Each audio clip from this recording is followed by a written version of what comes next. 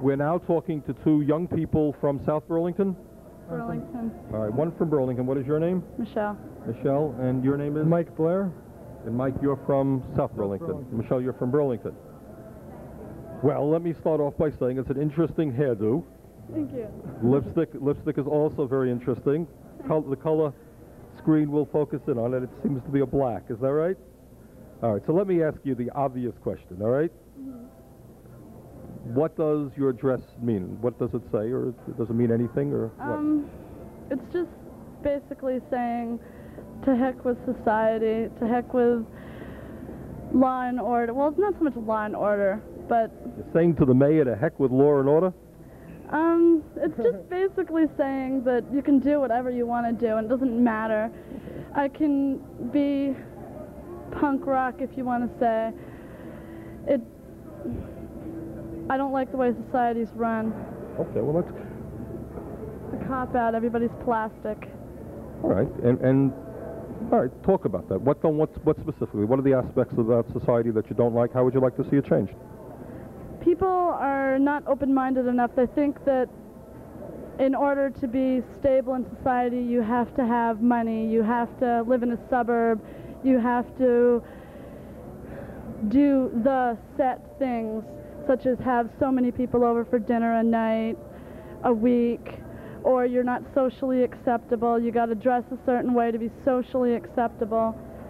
And I don't believe in having to belong to anything to be a person. I can do basically what I what I want with my appearance, with my attitude, and it doesn't matter.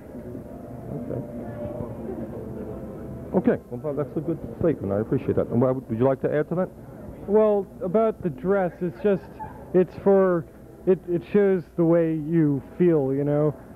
Like, people wear black because they're not feeling too good about what's going on around them. Like, some of the stuff that goes on in the society, you know, is basically baloney. And, like, people say that the democracy is so truly free. And, I mean, that's fine, but the, the way we're living in this democracy isn't a true democracy. And, like, to, they, everybody's always complaining about depression and such. Well, that's going to happen in the democracy. It's natural, because if you have a democracy, there's going to be capitalists. And, like, I, I guess that, I mean, they shouldn't be complaining because that's what they asked for, you know? What kind of what kind of society would you like to see?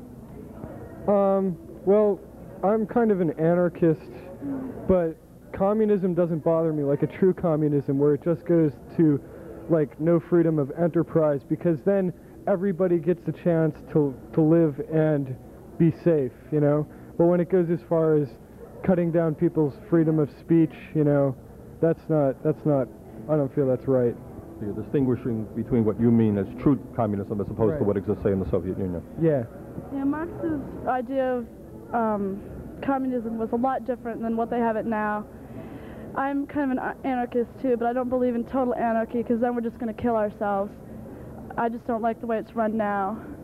How do you feel society can be changed? Well, if we could go into the archives and see what the government's really been doing for the past, I don't know how long, many years, then we'd all be pretty appalled and sickened by it. Because we think we're so free, we think we're so democratic, everybody has a say. We're just as imperialistic as the Soviets are, if not more. We're the ones that go into the other countries and we start wars. What really scares me is that we've never had a war in our own country. We don't know what it's like. We push our luck. Maybe one day we will get invaded, and then maybe we'll know what it's like.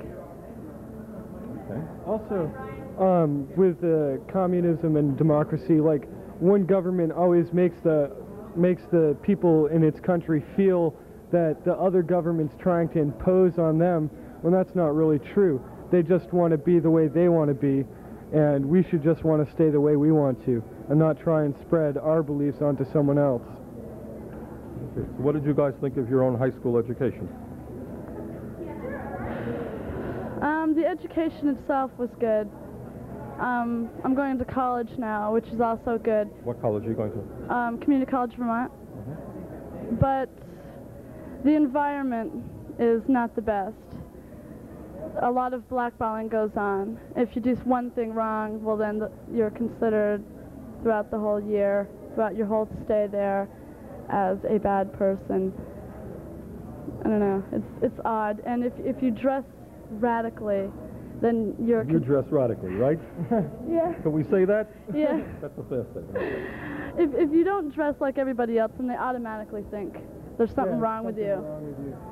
Also, They send you away. Yeah, and with school, like the education part is fine, but they do so much programming to everybody to make them feel like teachers will poke fun at me a lot, you know. Um, I'm not going to mention any names because they probably wouldn't be too pleased if they heard about that. But they specifically point out at me that like I'm trying to ruin their government. I don't care what they do. I just want to live the way I want to live. You know? Okay, well, thank you very much for your forthright views. Okay, see ya. Thank you. Okay. Okay, our, the next person that